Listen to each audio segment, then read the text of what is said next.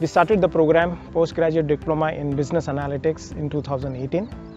Uh, it has been a great success. Uh, we had to double the capacity immediately after the first year.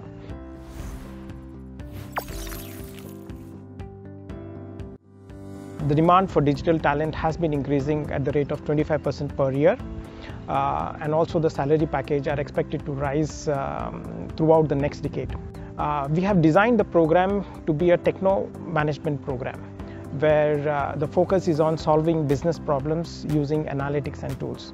You're not only equipped with uh, the tools uh, or programming languages or methodologies and models, you are uh, also trained to solve business problems uh, using them. As you join the program, uh, you would go through the induction process and we will train you the various programming languages through bootcamp mode. Uh, and also uh, the bootcamp would end with a hackathon.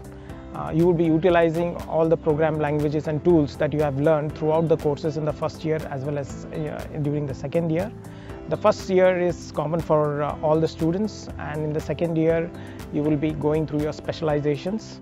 Throughout the program, we would encourage uh, the students to participate in as many hackathons as possible, uh, as well as corporate business uh, case competitions.